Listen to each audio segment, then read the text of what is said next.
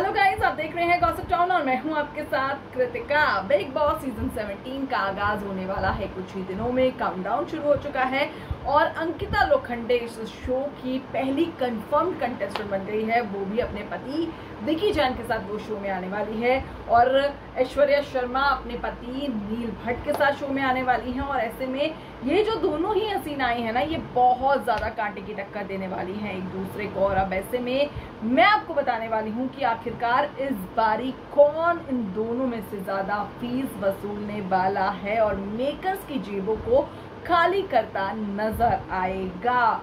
तो चलिए गाइज़ अगर आप है मेरे चैनल पर नए तो फटाफट से गॉसिप टाउन को सब्सक्राइब कर लीजिए बेल आइकन को प्रेस वीडियो को लाइक और शेयर भी ज़रूर कर लीजिएगा।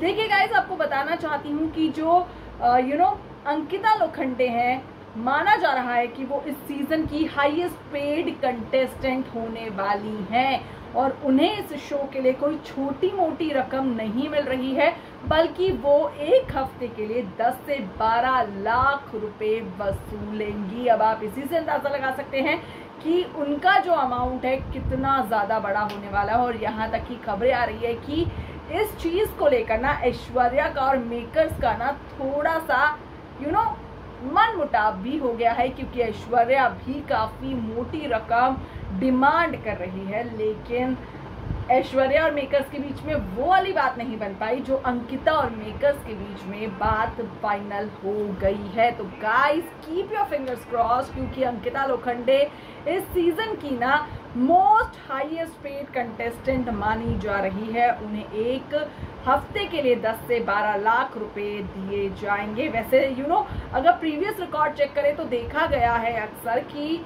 जो ज़्यादा फ़ीस बटोरता है ना वो शो में कुछ खास कर नहीं पाता। तो अब ऐसे में अंकिता पर खास कर के निगाहें टिकी रहेंगी कि वो घर में कितना कंटेंट देती हैं। कैसा लगा वीडियो? ज़रूर बताइएगा। इस वीडियो में इतना ही। देखते रहिए टाउन